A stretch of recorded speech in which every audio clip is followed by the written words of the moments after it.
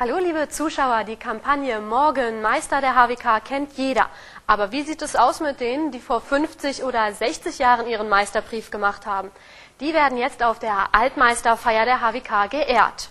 Vorab haben wir für Sie zwei Meister besucht, die vor über einem halben Jahrhundert ihren Meisterbrief abgelegt haben.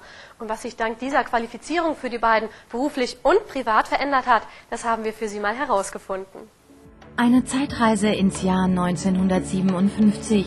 Das Saarland wird zehntes Bundesland der jungen Bundesrepublik.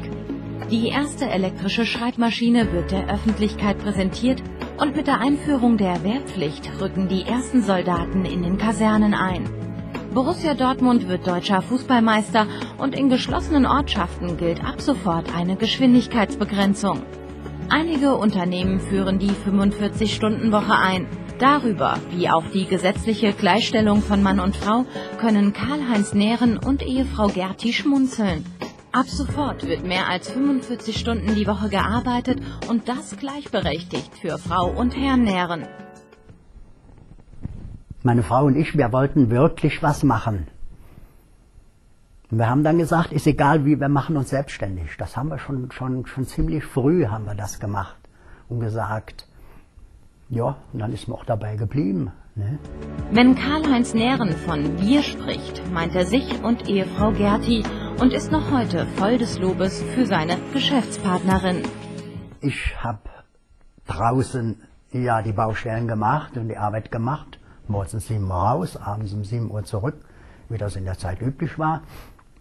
Und sie hat das Büro gemacht von Anfang an. Wirklich von Anfang an. Und das war eine, eine große Erleichterung. Doch damit alles in der Startphase zum Laufen kommt, ist man bereit, in Zell an der Mosel Opfer zu bringen. Man trennt sich von liebgewonnenen Dingen zum Wohle des Betriebes. Man hat die Horrix gehabt und äh, das Schlagzeug, muss ich auch dabei sagen, wurde das Schlagzeug wurde verkauft und die Horrix wurde verkauft und dafür äh, haben wir dann einen ganz uralten VW gekauft. Da wurden die Sitze rausgeholt, hinten rausgeholt, vorne der Nebensitz rausgeholt. Das war dann zum Transportieren für das Material. Das Ehepaar baut den Betrieb, seinen Kundenstamm aus, bildet insgesamt fast 70 Lehrlinge aus.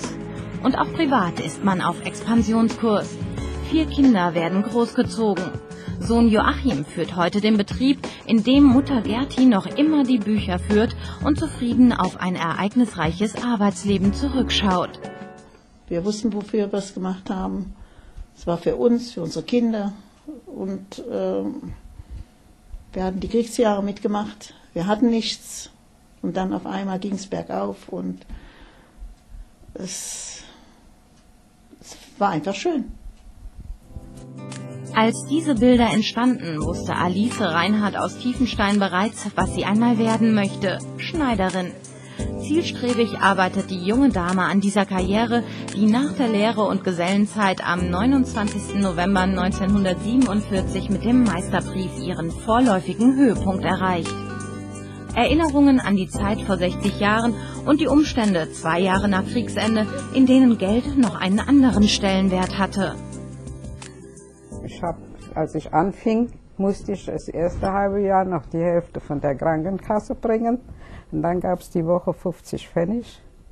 Und dann gab es im zweiten Jahr eine Mark die Woche. Um Geld und schwer zu besorgendes Material geht es auch bei der Anfertigung der Meisterstücke. Den Stoff schenkt ihr der Vater.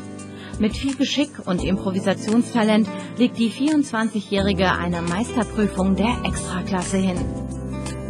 Ein Kleid musste man machen, eine halbe äh, Kostümjacke, ein Mustertuch, das habe ich auch noch, mit sehr schlechtem Stoff, was sich sehr schlecht verarbeitet hat, und ein Gürtel dazu und eine Futtertaille.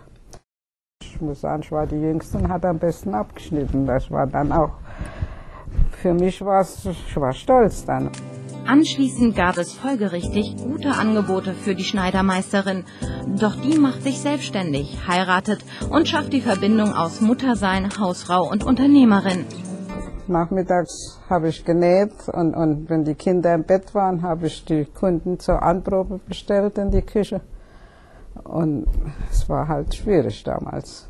Und, ja, und dann habe ich nachher, genäht habe ich immer. Also für mich, mich war es, wenn ich abends ins Bett ging und war mal nicht an der Nähmaschine, da war ich unzufrieden. Auf der Zeitreise durch sechs Jahrzehnte Berufsleben haben Alice Reinhardt und Ehemann Erich noch einmal in den alten Unterlagen gestöbert und Erstaunliches gefunden. So die Rechnung für die erste Nähmaschine, mit der die junge Meisterin in ihre Selbstständigkeit startete. 602 Mark kostete das gute Stück, damals ein Jahresgehalt. Doch immerhin, die solide Technik läuft noch immer. Gut investiertes Geld wie sich auch die Mühe, die Arbeit für den Meisterbrief gelohnt haben. Es ist ein wichtiges Stück in der Biografie der 140 Altmeister, die zur Feier der Handwerkskammer Koblenz erwartet werden. Sie haben also gesehen, welche Möglichkeiten sich dank eines Meisterbriefes eröffnen. Und natürlich haben die Meister von gestern auch fleißig ausgebildet und dafür gesorgt, dass viele weitere Meisterbriefe abgelegt wurden. Am Samstag im Wochenrückblick sehen Sie dann die Impressionen der Altmeisterfeier der HWK. Machen Sie es gut, bis dahin, Ihre Katharina Buchs.